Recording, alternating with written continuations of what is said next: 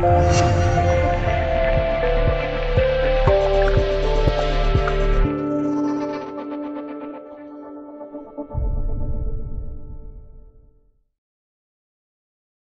者：月牙。日本昭和十三年，也就是一九三八年的五月二十日，日本的朝日新闻社出版了一本画报。画报中的图文注释只有短短几句话，大概意思是他们在和县城门上抓到的俘虏中，有一名女俘虏叫成本华，她的腰带上带有中国女童子军字样，但是日本人没能从成本华的口中得到丝毫的军事机密。照片中的成本华眼中带着轻蔑的笑看着日本人，从他的眼中看不到丝毫的恐惧。在他的身边有四个日本人围着，还用不同的眼神上下打量着这位女英雄。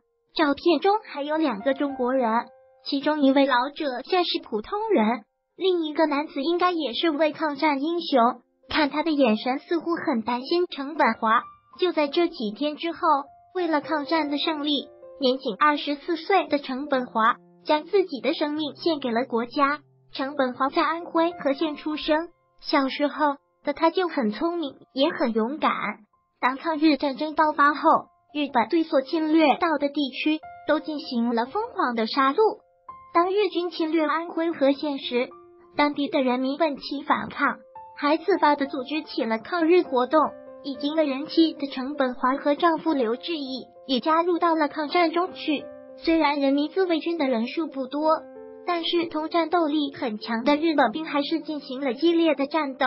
在这场战斗中，有很多人都牺牲了，程本华的丈夫也在牺牲的名单中。不久，由于人民自卫军和日军的人数相差太多，再加上缺乏弹药，很快成本华就被日本人抓住了。日军向来手段残忍，尤其对待被捕的抗日英雄们。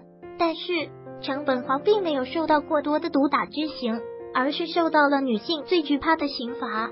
为了能从这位女英雄口中得到可靠的军事机密，日军对成本华进行了惨无人道的轮奸。但是根据日本的记录，他们并没有从成本华的口中得到丝毫的军事机密。几天后。日军在撤退之前，他们又一次的将成本华轮奸了。灭绝人性的鬼子们还将他们抓到的中国人全部残忍的杀害。这一切都被成本华看在眼中，他没有惧怕，而是冷冷的、轻蔑的看着鬼子们。成本华的表情让鬼子很是愤怒。当他们要处死他时，他提出了一个要求，就是在死前拍一张照片。于是就有了这张成本华最后的影像。照片中的成本华还是以双手环在胸前的姿态昂然挺立，眼中带着自信，扬起的嘴角挂着对鬼子的蔑视和对死的无所畏惧。随后，成本华便被鬼子残忍的杀害了。